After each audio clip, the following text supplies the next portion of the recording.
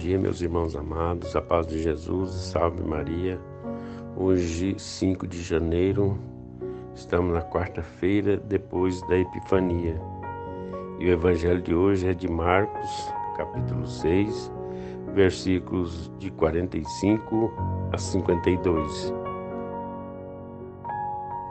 O Senhor esteja convosco, Ele está no meio de nós. Proclamação do Evangelho de Jesus Cristo segundo Marcos. Glória a vós, Senhor. Depois de saciar os cinco mil homens, Jesus obrigou os discípulos a entrarem na barca e irem na frente para Betsaida, na outra margem, enquanto ele despedia a multidão. Logo depois de se despedir deles, subiu ao monte para rezar. Ao anoitecer, a barca estava no meio do mar e Jesus sozinho em terra. Ele viu os discípulos cansados de remar, porque o vento era contrário. Então, então, pelas três da madrugada, Jesus foi até eles andando sobre as águas e queriam passar na frente deles. Quando os discípulos viram andando sobre o mar, pensaram que era um fantasma e começaram a gritar. Com efeito, todos o tinham visto e ficaram assustados. Mas Jesus logo falou: Coragem, sou eu, não tenhais medo. Então subiram com eles na barca e o vento cessou. Mas os discípulos ficaram ainda mais espantados porque não tinham compreendido nada a respeito dos pães. O coração deles estava endurecido. Palavra da salvação. Glória a vós, Senhor. Meus amados irmãos, é, o Evangelho de hoje nos convida a uma reflexão, ou seja, uma continuidade da reflexão do Evangelho de ontem. O Evangelho de ontem que nos mostrou Jesus com seus apóstolos é, saciando a fome daqueles cinco mil homens. Eles sentiam fome e, apesar de que, de, de que os apóstolos desejavam despedi-los para que eles mesmos fossem buscar os seus alimentos, Jesus foi contrário. Deu a sugestão de que eles mesmos dessem àquele povo o que comer. E no Evangelho de hoje, Jesus continua amparando aquele povo, direcionando aquele povo, nos mostra. Jesus obrigou os discípulos a entrarem na barca depois de ter alimentado saciado esses homens e irem na frente para Betsaida, que era do outro lado da margem, enquanto ele despedia a multidão. Logo depois de se despedir, subiu ao monte para rezar. Olha o poder da oração, olha o compromisso da oração e o exemplo que Jesus nos dá. Depois de uma grande ação, depois de um grande milagre, Jesus, o que, que ele faz? Ele despede os seus apóstolos, manda que ele vai para eles vão para outra margem, mas ele mesmo fica orando. Quem sabe agradecendo por tudo aquilo que aconteceu depois de, de ele conseguir, deles conseguirem saciar a fome daquele povo, Jesus com certeza foi agradecer. E seus discípulos foram, não preocupou com o que Jesus estava fazendo. E isso, queridos irmãos, nos convida que nós também precisamos, depois de uma grande ação, depois de uma grande, um grande objetivo alcançado, que nós também vamos fazer as nossas orações, vamos fazer os nossos agradecimentos.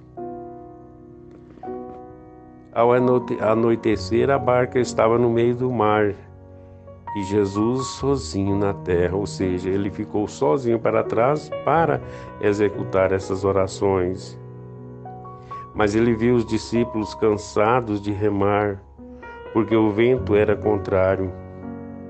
Então, pelas três horas da madrugada, Jesus foi até eles andando sobre as águas. Quantas das vezes, queridos e amados irmãos, nós também sentimos essas dificuldades? Quantas das vezes nós, queridos e amados irmãos, passamos por tantas tribulações? O mar da vida muitas das vezes nos proporciona essas, essas dificuldades e às vezes nós não percebemos Jesus como ele aproximou de, de, dos, seus, dos seus apóstolos nessa tempestade. Muitas das vezes Jesus se aproxima de nós e nós não percebemos. E nós às vezes sentimos medo, sentimos incomodados, mas Jesus sempre nos ampara, sempre nos apoia e sempre nos dá a mão quando nós estamos propícios a afundar. Jesus sempre nos acolhe e sempre nos ampara.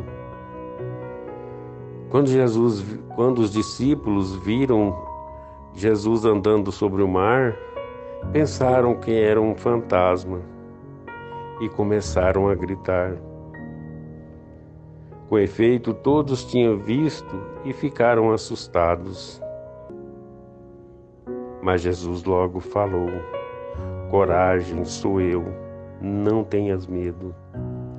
Quantas das vezes, queridos irmãos, Jesus nos fala: Coragem, irmãos, não tenha medo, vá em frente, confie em mim, eu os conduzirei não tenhais medo.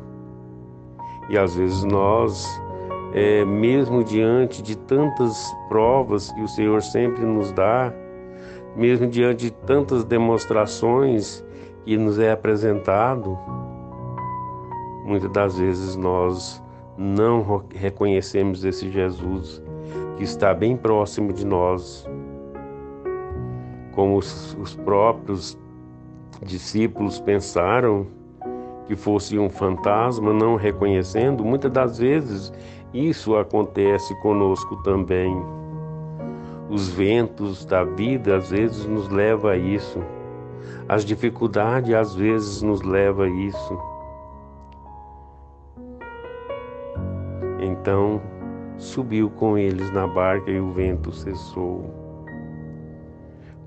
Então que nós temos, queridos e amados irmãos, é permitir que o Senhor entre na nossa barca para que o vento se acalme, para que a tempestade logo passe. Mas os discípulos ficaram ainda mais espantados, porque não tinham compreendido nada a respeito dos pães. Quantas das vezes nós também não entendemos os, o propósito de, do Senhor na nossa vida. Não entendemos aquilo que o Senhor quer de cada um de nós. Às vezes nós olhamos por outros lados, direcionamos nossa caminhada em caminhos diferentes, não acolhendo e não entendendo o propósito de Deus na nossa vida. E isso, queridos e amados irmãos, acontece porque muitas das vezes os nossos corações ainda estão endurecidos, como estavam endurecidos os corações dos discípulos do Senhor. Porque muitas das vezes, mesmo diante de tantos, de tantos milagres, de tantas conquistas e vitórias que nos é, nos é concebida, às vezes nós ainda não entendemos. Não entendemos porque às vezes nós não entregamos o nosso coração verdadeiramente ao Senhor.